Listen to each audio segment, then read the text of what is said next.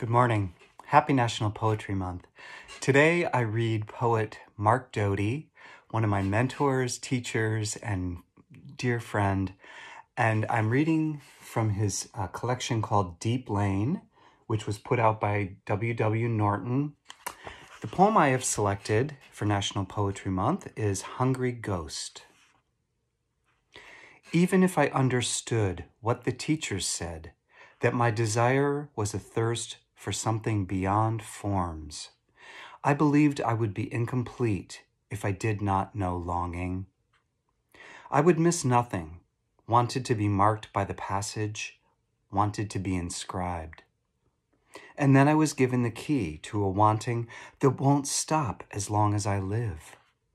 Where was my gracious consent to attachment then? I was taught to say, Please, sir, may I have more?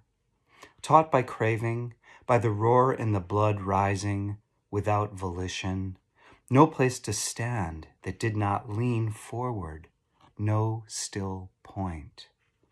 I harrowed sleep and memory, descended into the purely physical howl of the world, learned my size in relation to appetite, from which I could no more step back than I could change the eyes through which I read this page.